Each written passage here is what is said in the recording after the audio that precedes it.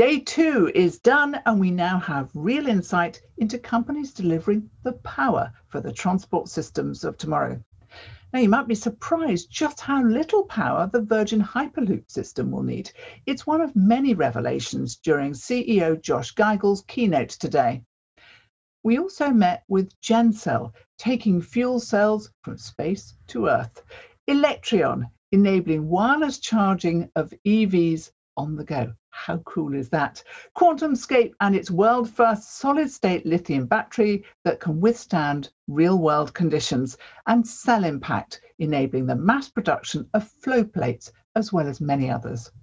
And don't miss our panel of experts debating the role and misperceptions that retail investors play in the market for capital and how they're impacting market liquidity.